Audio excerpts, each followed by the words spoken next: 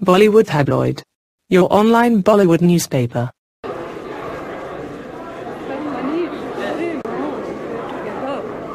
So excited about the function tonight being glamorous and stylish? Well, um, I'm really glad that Filmfare came up with this event because it is uh, really great to uh, celebrate this kind of a. I mean, uh, it is as important as movies. But you've been the queen icon of stylish icon and he's next next to you. She's the best, isn't she? Come on. But how important for a person to be stylish or glamorous at the end of the day when he's presenting for top? But I think I think feeling good, feeling beautiful is truly beautiful. So I think uh, style is also very subjective. But you know what? After all the film awards, it's really nice that they're having a glamour and style awards. It feels refreshing. So I think tonight is going to be a fun night. Sridevi, how do you, what do you rather rather personally prefer saying that if you get a chance to pick one out of two, one being glamorous, second being stylish, what would you personally? Well, both is very important.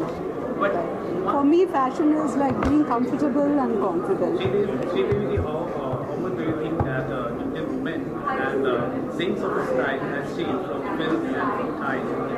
What I didn't. How much do you think? She is the epitome of Indian beauty and Indian woman uh, because I think an Indian woman looks good in Western clothes, in Indian clothes, carries everything in style. Style and same sort of style has changed. It's definitely more evolved, and I think today's women look beautiful.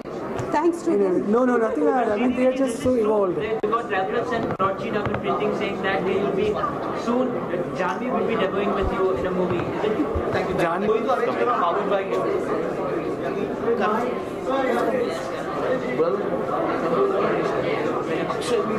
Ajay?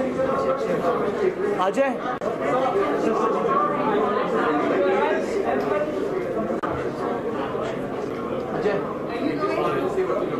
Hi,